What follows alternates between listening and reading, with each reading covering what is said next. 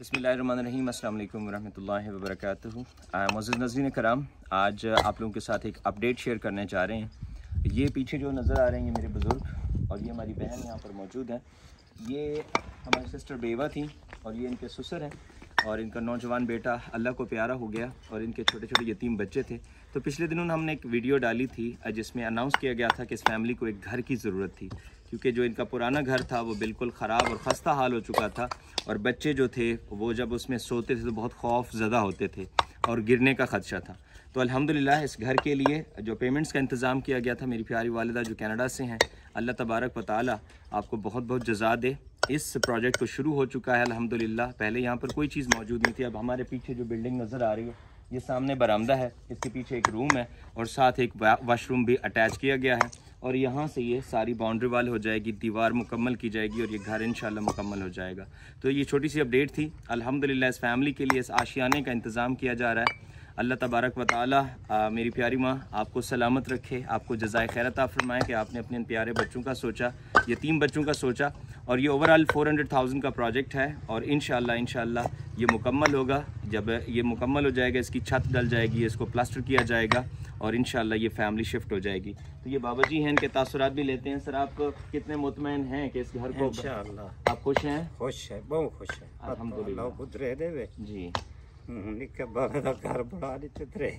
अल्लाह पाक आपके नसीब में करे बाबा जी और अल्लाह ताला आपके बच्चों को ये आशियाना नसीब करे। ये आप लोगों के लिए जो कुछ भी किया गया अल्लाह सुबहान ताला की रज़ा के लिए किया गया है। और हमारी दुआएँ हैं अपनी इस बहन के लिए इनके बच्चों के नेक नसीब के लिए इनशाला। वो इस घर में रहेंगे इस घर को इस्तेमाल करेंगे इंशाल्लाह। और हमारी ये कोशिश है और नज़ीर कराम मैं आपको बताना चाहता हूँ कि इस काम के लिए ज़ाहिर है जो आप लोगों को हम सबको नज़र आ रहा होता है कि बहुत ईजी है लेकिन इतना ईजी नहीं होता। बिहाइंड द सीन बहुत कुछ करना पड़ता है मटेरियल का अरेंज करना और ये बहुत बड़ी रिस्पॉन्सिबिलिटी हमारी। और अल्हम्दुलिल्लाह डे वन से हमने जो अपने काम शुरू किए एज फॉर ह्यूमैनिटी ने बड़े अहसन तरीके से अपने कामों को सर अंजाम दिया है। तो इस चीज़ का हमें भी फ़ख्र है कि अल्लाह तबारक व ताली ने हमें, हमारी प्यारी वालदा को इस काम के लिए चुना और अल्हम्दुलिल्लाह ये प्रोजेक्ट शुरू हुए हैं और इन मुकम्मल होंगे और आप लोगों के साथ इन शेयर करते रहेंगे। आप सबका बहुत बहुत शुक्रिया। अल्लाम वरहमल वर्क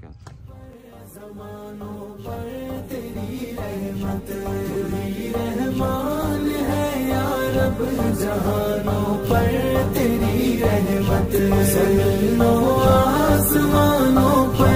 जमानों पर तेरी रहमत मुअज्जन की आजानों, सब जुबानों पर तेरी रहमत की आजानों, सब जुबानों पर तेरी रहमत नबी के शायरों और नात खानों पर तेरी रहमत तेरी रहमान है जहानों पर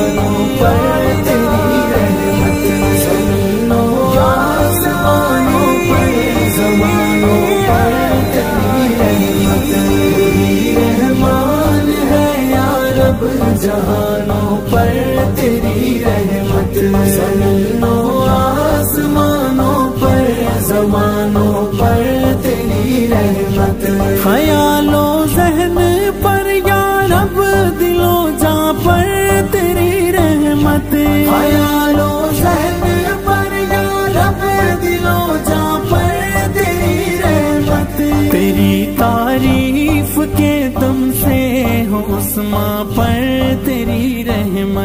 तेरी रहमान है या रब जहानों पर तेरी रहमत।